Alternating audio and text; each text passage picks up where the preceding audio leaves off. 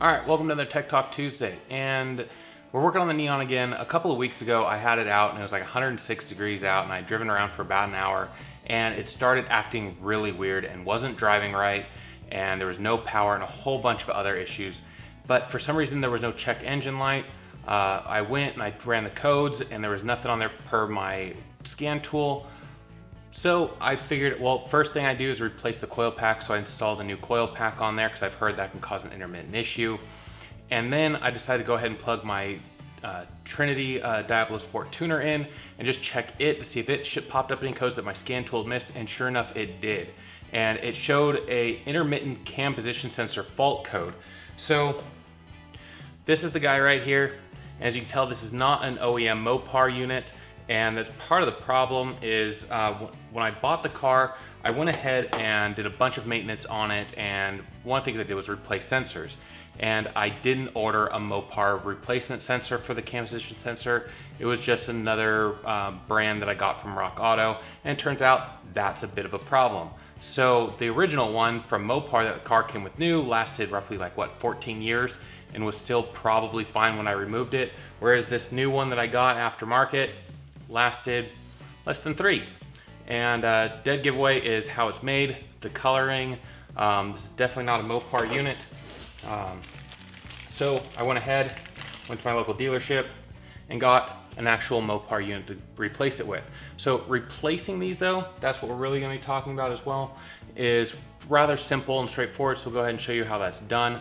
Um, but in, for future reference, if you're working on an SRT4 and you need to put a cam position sensor in there, go ahead and spend the extra money and get a Mopar unit because they last a lot longer, they're higher quality. Um, this one I think was like $60 after tax and stuff, so they're not the cheapest, but they're also not super expensive, so just spend the money, get the Mopar unit, and they're really easy to get to. They're right here on the end of the head, um, next in between the battery and the engine. Uh, you're probably gonna have to pull your intake off. I went ahead and pulled mine because it just made it easier. And then it's really just two bolts that attach to the side of the head and the electrical connector. I also removed this one uh, nut on this valve cover to get this hose out of the way just to give me a little more extra room. So I'll go ahead and button this guy up. Go ahead and it's just two eight millimeter bolts that hold it into place. It's really easy, just goes right in here.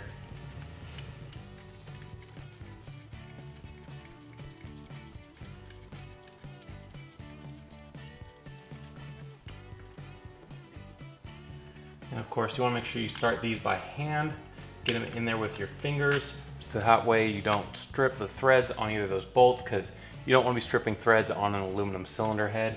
And uh, once you get those in there, you just tighten those down, pop the electrical connector back on, and then put everything back together.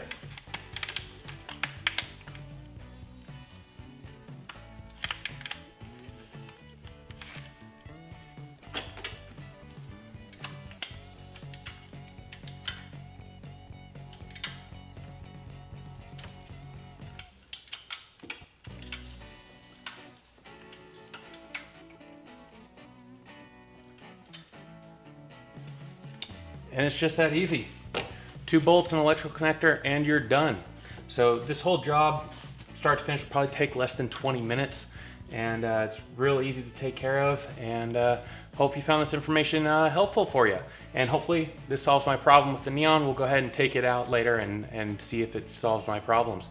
So as always, if you like this video, go ahead and give us a thumbs up, hit that like button. And if you want to be kept to date up on all my future uploads, go ahead and smash that subscribe button down below and ring that notification bell so that way YouTube will notify you of all my uploads in the future. And as always, I will see you the next video.